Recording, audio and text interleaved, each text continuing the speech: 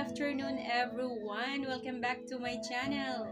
And kung hindi pa po kayo nakasubscribe sa aking channel, please pakisubscribe po and don't forget to like and share and comment down below.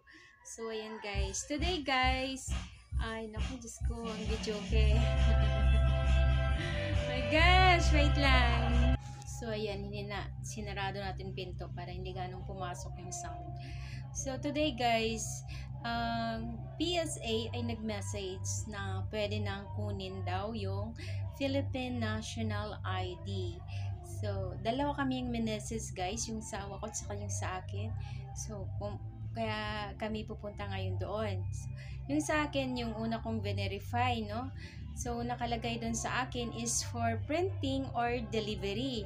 Yan nakalagay uh, maghintay lang daw ako for delivery, yun sa akin. Tapos, sa asawa ko, yung binirify namin, ay na-verify namin sa kanya na pwede na siyang kunin kung saan ang lugar na gusto mong kunin. So, mayroon doon pagpipilian na it's Tar Mall, then sa Kalintong, sa Marketplace, then may isa pa, uh, bandang Robinson yata, yung ganyan. So, pinili ko sa Star Mall kasi sa Star Mall kami kumuha dati.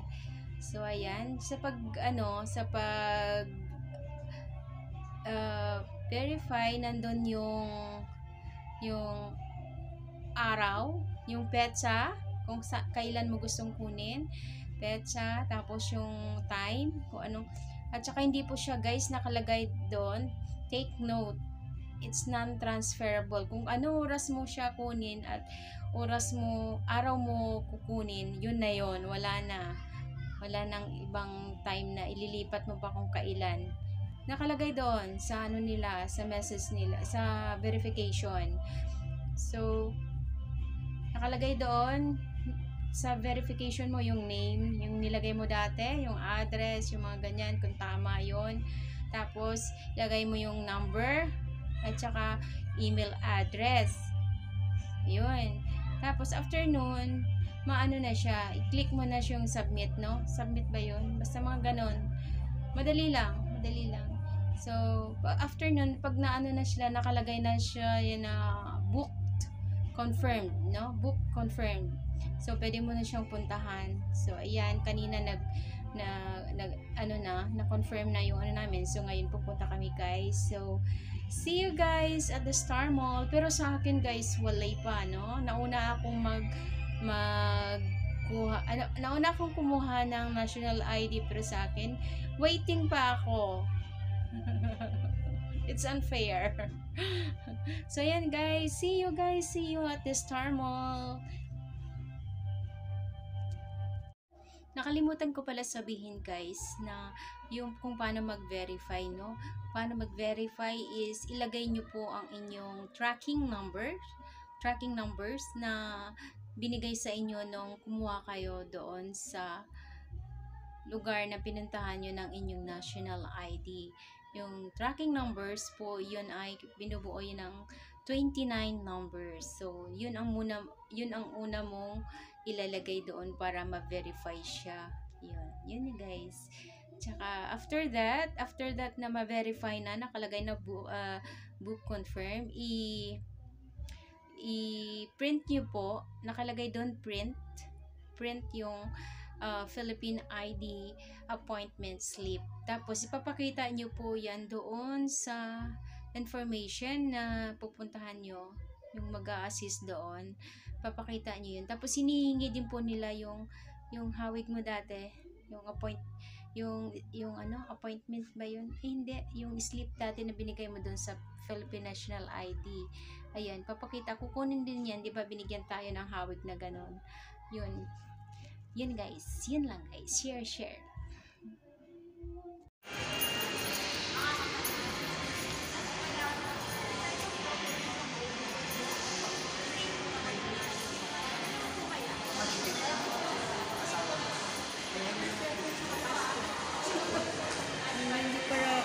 Pala to original ID.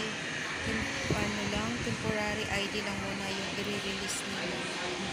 Waiting pa daw, sabi dito sa info Original. Bine-verify pa daw. Pero yung, yung public kasi, date of birth is June 13, 1967. Place of purpose, Binakot. Time. Sinabi mo mukha ko. Wala pong mali sa naman ito. pa, hindi naman ako minum. At nakasip na po ako sa, ay, Yes, good birthday. Um, yan, yan. Ganito po niya, sir. Um, palakpakan po siya dito,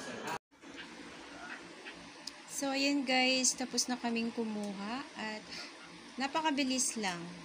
Saglit lang siya. Konting tanong-tanong lang. Tungkol din naman yung tanong doon sa dating tinanong sa'yo nung nag, ano, nang kumuha ka. So, ayan, mabilis lang at nirelease na nila. Kung nga guys, temporary lang pala talaga ito.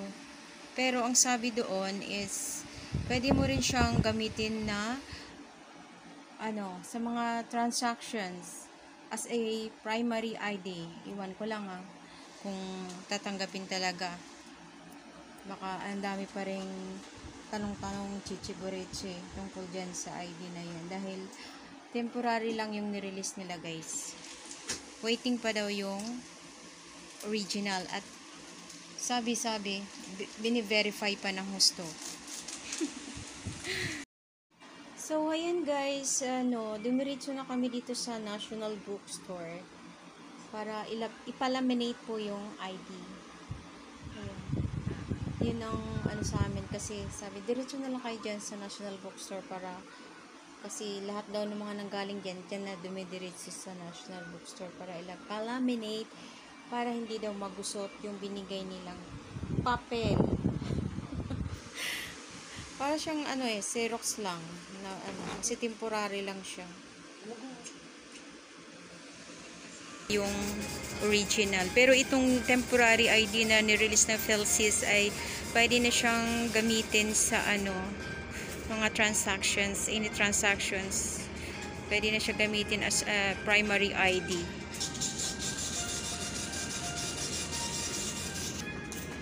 Yun guys, waiting pa tayo. Ang tagal.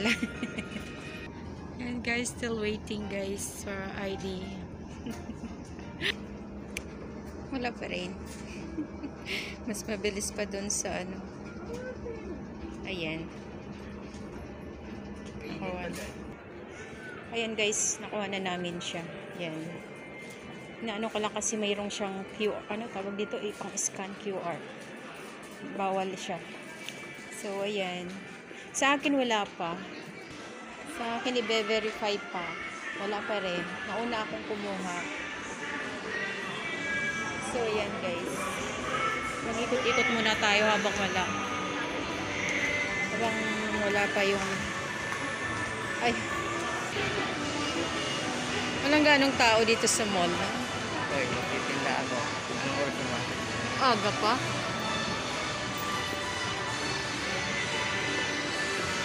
Yun naman yung kanilang Christmas tree. Yan.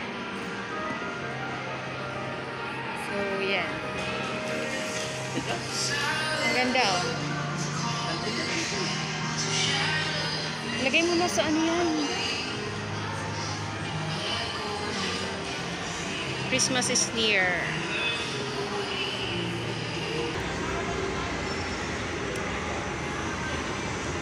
Nakaganyan lang talaga yung tinday. Kasing laki ng wallet. Ikot-ikot tayo.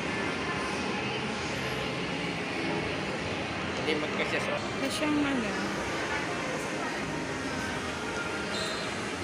Paano malaman sir? Tinik sa ko. Tinik sa ko sir. Nandiyan. Ah, sabi. Ah.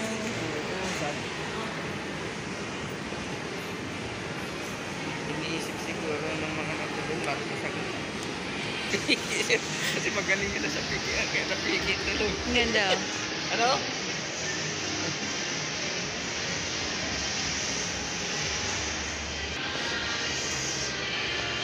Walang tao dito sa mall. Walang katao-tao. Oh, konti lang. Hmm. Di ba? Oh, nag-iisa. Oh, wala. Wala man lang dito nagninegosyo. Naka-plaster dito. eh. Wait lang. Ang ganda ng Christmas tree nila, oh.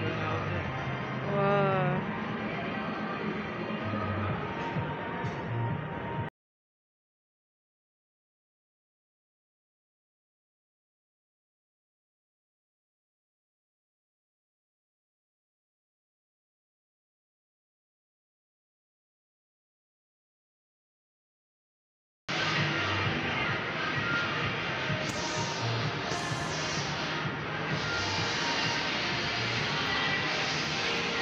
Bukas punta ko sa munisipyo yung akin. Ah? Punta ka ng munisipyo. Buti tatanong ka lang naman. What's, some, what's the problem?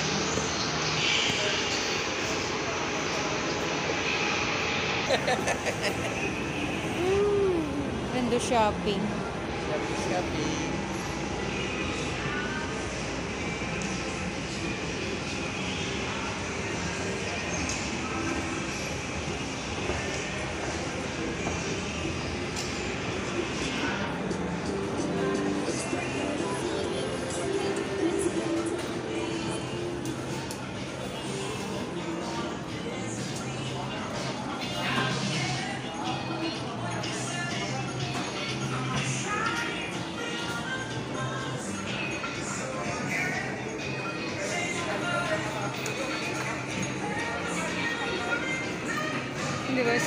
talaga yung pagkuha.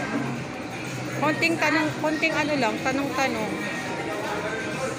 Tapos inulit-uli kung tama yung ano, tama tama yung nakalagay doon. Ha? Meron nandun. Bakit bibili ka pang kahit? Local yung Yan, 20% discount siya, vacuum. Maliit lang. Maganda to.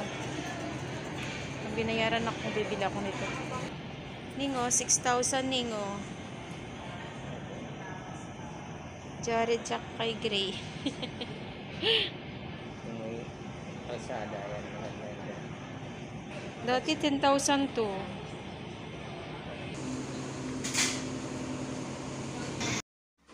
Ayan guys, pauwi na kami at tapos na ang aming lakad. So, thank you so much guys for watching my video. And God bless everyone. Have a nice day. Thank you, thank you guys. To all my subscribers, thank you.